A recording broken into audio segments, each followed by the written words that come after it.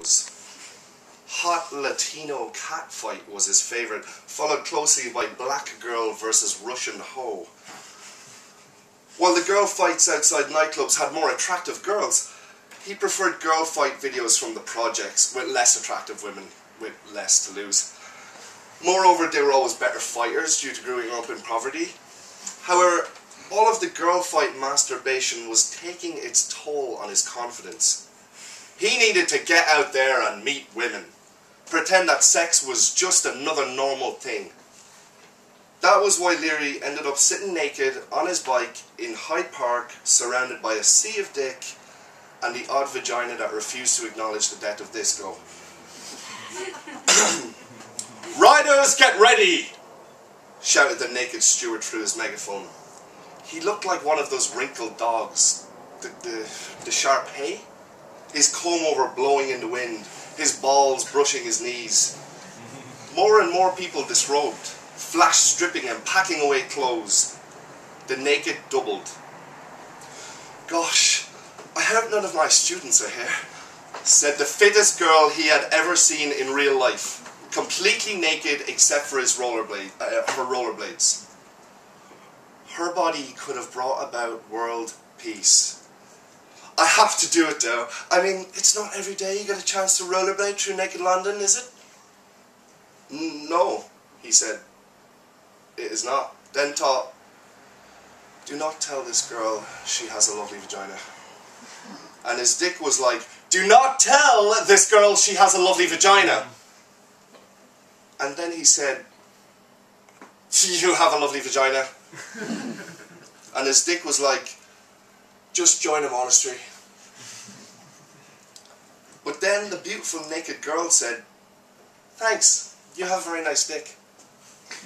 And his dick was like, what the fuck? the Shar-Pei was on the megaphone again.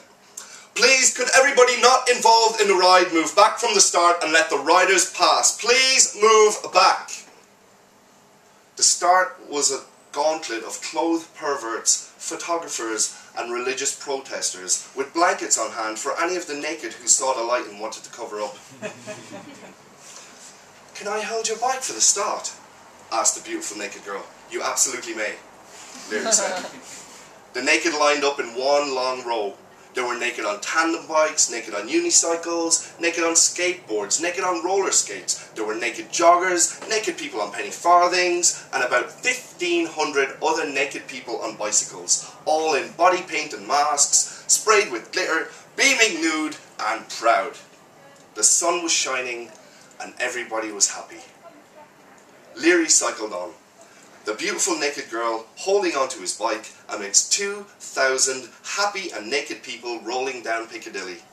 Shop owners threw out candy bars and chocolates and drinks. People cheered and young boys all looked grateful for the biology lesson. Sometimes people just needed a laugh. Naked people on bikes were funny. In the mighty name of Jesus, one of the religious protesters shouted, Repent and put back on your clothes! Weren't Adam and Eve naked? shouted the beautiful naked girl. You preposterous people!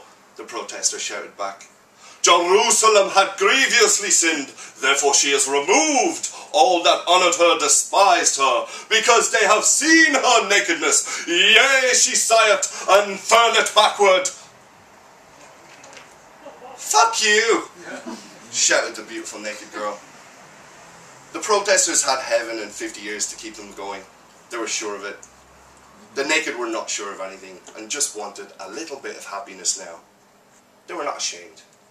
They felt they were telling the world they were there, human, flesh and bone. In ancient times, rites of passage involved going out into the wilderness and coming back with the head of a wolf. Nowadays, it was getting the monthly rent together for an overpriced bedsit in Clapham. Leary smiled at the Holy Joes and forgave them. It must be tough having to be anti-everything all the time, begrudging in the name of love. The Holy Joes smiled back because Leary and the beautiful naked girl were going to hell. The beautiful naked girl was frowning because of the exchange though. Naked wasn't enough for her anymore. The naked moved on down Whitehall, past Big Ben, over Westminster Bridge, the beautiful naked girl sulking all the while. This is shit, the beautiful naked girl said. Let's get out of here. Okay, said Leary. They put on clothes and went back to Leary's flat. Leary could not believe his luck. This was exactly how his wildest dreams went. They drank some wine, took their clothes off again, with the exception of the beautiful naked girl's rollerblades, then had sex. Did you do your homework? You didn't, did you? You didn't do your homework. You didn't do your fucking homework. You didn't do your fucking homework.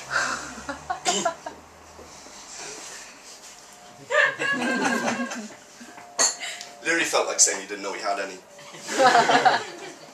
they lay there afterwards on a sheetless mattress, staring at the ceiling.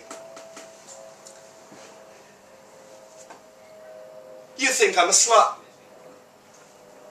No, no, not at all, Leary said. You're a liar. I, I don't think you're a slut. Not at all. Not at all, not at all. Is that all you can fucking say? Listen, Leary said. Don't tell me to listen. You're a cunt. Wait, Leary said. Stop telling me what to fucking do, cunt. The beautiful naked girl stood up from the bed, grabbed his one and only chair, raised it high above her head, and brought it smashing down on his television.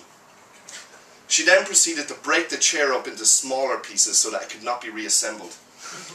Go on, touch me! Try to stop me, I fucking dare you!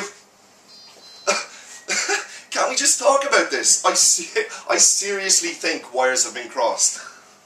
The beautiful naked girl pulled his bookcase to the floor. Stop trashing my place! Get out! shouted the beautiful naked girl. Get the fuck out!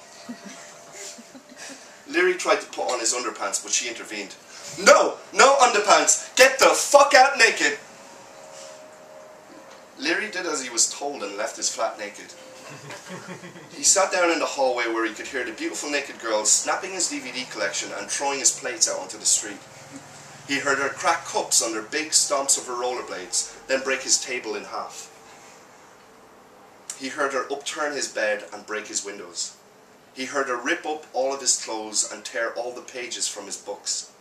She beat his fan against the sink and exploded pots of jam and pasta sauce against the walls. See, she searched through drawers and found his photographs. Who's this? Your fucking girlfriend? She shouted. Then he heard her rip them up. Ugly fucking bitch! His neighbours came out and asked if everything was alright. Leary said it was. and they listened to the beautiful naked girl destroy his laptop and phone, shred his money, and flush his wallet down the toilet. She tore down his curtains and ripped his posters from the wall. She called his portfolio shit and set it on fire. and when there was absolutely nothing in Leary's life she hadn't destroyed, and Leary sat naked in the hallway surrounded by his worried neighbours, she opened the door and peeked her head out.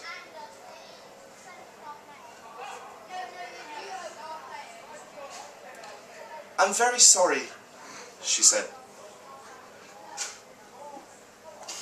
It's fine, Leary said. It's all absolutely fine.